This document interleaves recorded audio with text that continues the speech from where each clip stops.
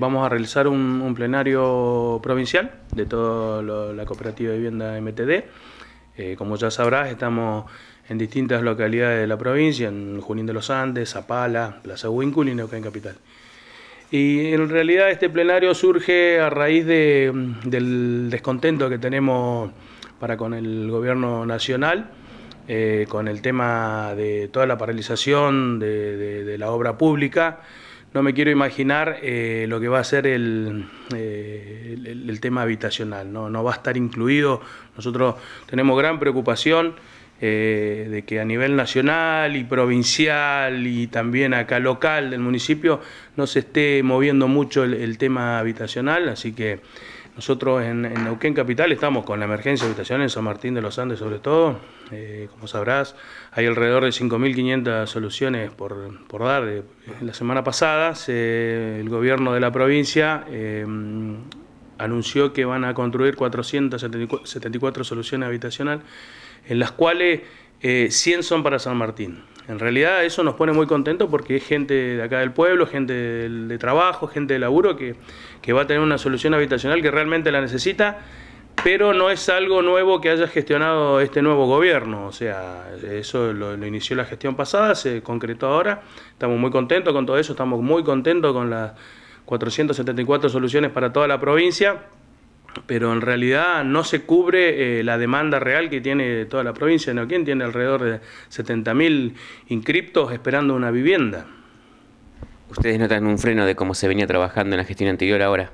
Sí, sí, se notó, se, notó en, el país, ¿no? La obra pública se paralizó total y el tema habitacional no da ninguna, ninguna vista a que podamos seguir trabajando de la misma forma que veníamos trabajando. ¿Y cómo está el tema de las 85 viviendas? ¿Ustedes ya habían comenzado con la construcción? Sí, las 85 viviendas para nosotros ya es como un tema, eh, no lo descuidamos, pero un tema que ya está, se concretó, que va avanzando con el tema de documentación, la obra, estamos con los muros de contención, se va a comenzar con las plateas, hay un trabajo en equipo trabajado, trabajando con el ADUS y nuestros representantes técnicos, así que venimos, eh, venimos bastante bien, digamos, ¿no? Por ahora no hemos tenido inconveniente con eso. Lo que nos preocupa es la gran demanda que tenemos atrás. Nosotros tenemos un registro de 1.200 familias en lista de espera, eh, en las cuales ya nos hemos movido acá a nivel local, hemos presentado los petitorios y, notas correspondientes al municipio, a Brunilda Rebolledo, a demanda habitacional a la señora Díaz Tete, a Marcelo Daniel San Pablo eh, le hemos hecho llegar nuestro petitorio de la compra de, terrenos para, poder seguir trabajando en conjunto como veníamos, pero hasta el momento no hemos tenido ninguna respuesta positiva. Y eso está generando un, eh, malestar en la gente, eh, se está poniendo nerviosa, se están empezando a incomodar. vos vas a preguntar acá al municipio y te dicen que no hay tierras, hay tierras, hay terrenos, hay loteos privados con bastante accesibilidad a los servicios, no, no están tan lejos. Acá lo que falta es una buena decisión política, ponerse a trabajar en el tema habitacional. Nosotros entendemos que el municipio local encontró un municipio devastado, eh, con muchos problemas económicos y hoy tiene que tapar muchos agujeros, se entiende.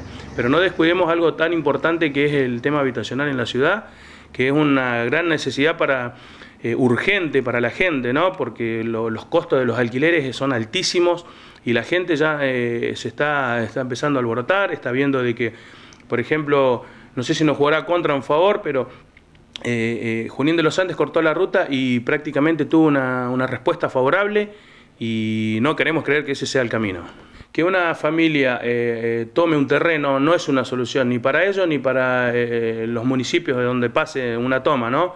Porque jamás le van a dar la accesibilidad de los servicios, eh, jamás le van, a, le van a bajar fondos para construir viviendas porque es, algo ilegal. Entonces no, no, se genera una solución para nadie, se genera malestar en la sociedad solamente. Yo creo que hay que ponerse a trabajar un poquito más firme con el tema habitacional. Estamos contentos con la gente esta que va a recibir eh, la, 100 viviendas, que todavía no arranca, está en, cero eso. Eh, es un largo proceso para que se pueda empezar a trabajar en esas tierras y dar una solución.